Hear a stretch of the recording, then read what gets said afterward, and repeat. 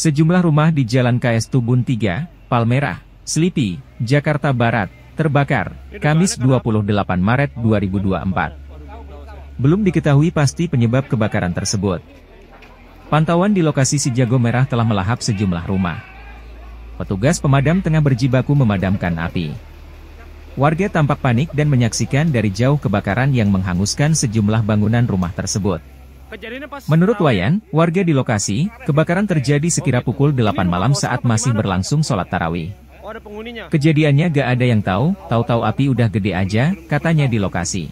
Wayan menuturkan saat api perlahan melahap bangunan rumah, warga sekitar panik hingga berlarian keluar. Warga pada panik, terus pada keluar semua, jelasnya. Dikatakan, sumber api sementara dari bangunan rumah yang menjual kayu atau kusen sehingga membuat api begitu cepat membesar. Rumah jual kayu, kusen. Saya juga belum tahu pasti kejadiannya, ucapnya. Saat ini petugas pemadam kebakaran masih berjibaku memadamkan api yang melahap sejumlah bangunan di belakang asrama Brimob itu.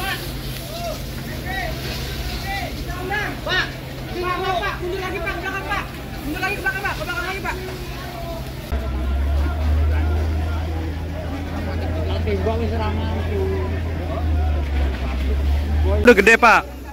Tahu-tahu udah gede gitu. Oh. Itu benar pada saat terawih pak. Emang masih ada orang Masih terawih. Oh gitu. Tiba-tiba api udah gede. Terus bagaimana pak warga ketika api udah gede pak? Lari, pada keluar, yang ya kayak ini nonton gitu tapi pada kebakaran.